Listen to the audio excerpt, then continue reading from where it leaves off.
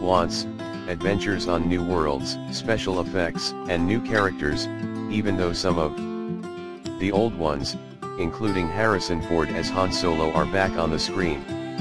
The seventh movie of the franchise was directed by J.J. Abrams, who was also responsible for the success of other action-packed movies, including Star Trek and Mission Impossible 3.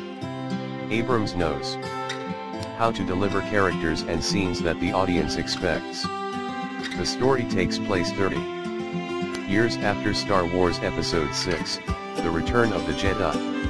The storyline, like all the other films in the series, deals with the fight between good and evil. It is full of twists and turns.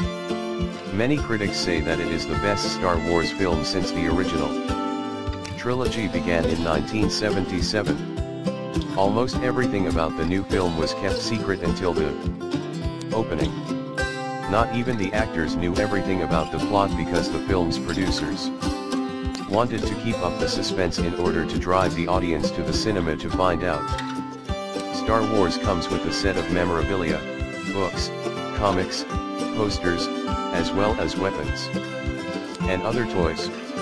Even though the film has only started to be shown around the world, it isn't difficult to predict that The Force Awakens is going to become another Star Wars success.